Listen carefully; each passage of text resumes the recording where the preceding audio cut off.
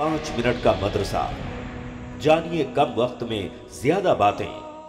असलकम वरहमतुल्लाहि वबरकातुहू। नादरीन, आपका इस्तकबाल है हमारे प्रोग्राम पाँच मिनट के मदरसे में। हमारा आज का पहला मौजू है कुरान। अल्लाह ताला ने फरमाया व यकुल्लहुमुलहक़ इलैहि मुदईनीन अफ़ी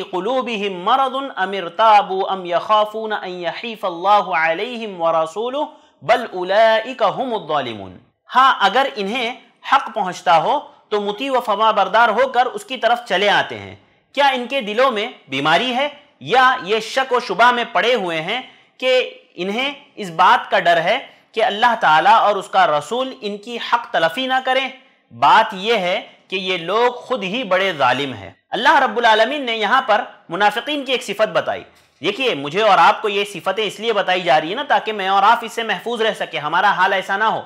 उनकी क्या सिफत बताई जा रही है? जैसे कि कल के दर्स में भी मैंने कहा था कि उनकी मुनाफत ज़ाहिर होती है इस बात से कि जब उनसे कहा जाता है कि चलो अल्लाह उसके रसूल के पास फैसला कर लेते हैं किसी भी मामले में तो वो पीछे हट जाते हैं। अब यहाँ पर अल्लाह रब्बुल आलमीन कह रहा है कि उनके अंदर ये बात थी कि उन्हें ऐसा लगता था ना जब कि मामला उनके हक में, यानी वो हक पर है, वो सही पर है। जब उनको पता चलता था कि अगर हम अल्लाह और उसके रसूल के पास जाएँगे ना तो फैसला हमारे ही हक में आएगा। तो वो ज़बरदस्ती लेकर के चलते थे। नहीं, चलो चलो, अल्लाह के रसूल के पास फैसला करवाएँगे। ज़बरदस्ती खींच खींच करके जो है किताब सुन्नत के पास ले जाते थे, अल्लाह के रसूल के पास ले जाते थे कि चलो, अल्लाह के नबी के पास जाकर के फैसला करेंगे। लेकिन जब मामला इसके बरक्स होता, उनके मुखालिफ होता, उन्हें पता होता कि अब हम हक पर नहीं है, हमें इसमें हिस्सा नहीं मिलने वाला या हमारे हक में फैसला नहीं आने वाला तो लिहाजा वो दूर भागते थे फिर। वो कहते थे नहीं नहीं, अल्लाह और उसके रसूल के पास नहीं जाना, यही फैसला करना है। अल्लाह रब्बुल आलमीन ने इसी चीज़ की तरफ़ इशारा करते हुए कहा, अफी कुलूबिहिम मरदुन क्या उनके दिलों में मरज है, बीमारी है?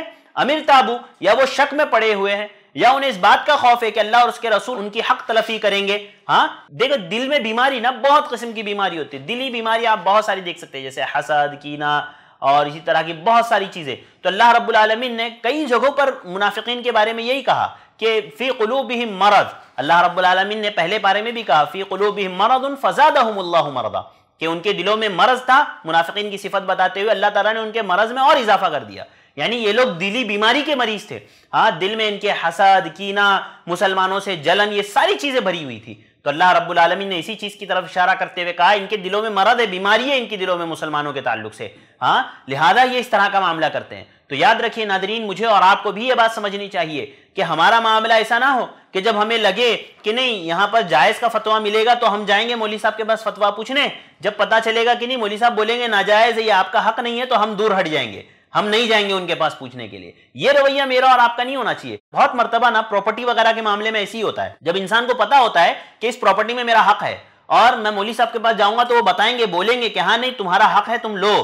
तो वो फ़ौरन भागते भागते आते हैं। कि भाई हमारे साथ ऐसा ऐसा मामला हुआ, इसमें हमारा हिस्सा है। लेकिन जब बहनों की बात आती है, बहनों का हिस्सा देने की बात आती है, या ऐसी बात आती है कि जिसमें उनका हक नहीं होता है, तब वो फिर जाने के लिए आमादा नहीं होते। वो कहते नहीं, यही फैसला करो, थोड़ा दे दो, लेकिन दो हमें, राज़ी कर लो।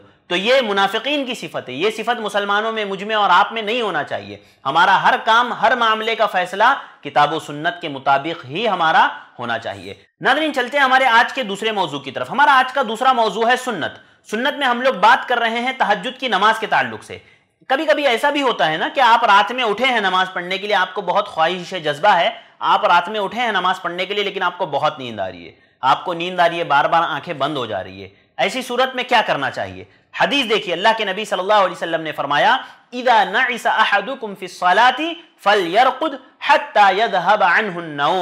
कि तुम में से जब किसी को ओंग आए, यानी नींद आ रही है ओंग आ रही है तो उसे चाहिए कि वो सो जाए।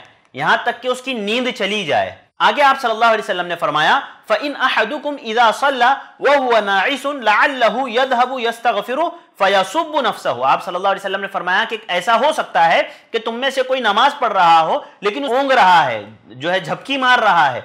और झपकी मारने मारने में ऐसा होता है कभी कभार कि इंसान का शऊर चला जाता है। अल्लाह के नबी ने कहा कि कहीं वो चाह रहा था अल्लाह ताला से इस्तगफार करना, लेकिन वो अपने नफ्स को गाली दे रहा है, अपने नफ्स पर लान तान करने लग जाता है। इंसान नींद की हालत में। इस हदीस में अल्लाह के नबी सल्लल्लाहु अलैहि वसल्लम ने मना किया है कि अगर आदमी को नींद आ रही है तो वो सो जाए। वो तहजद ना पढ़े, सो जाए जब तक कि उसकी नींद मुकम्मल नहीं होती है।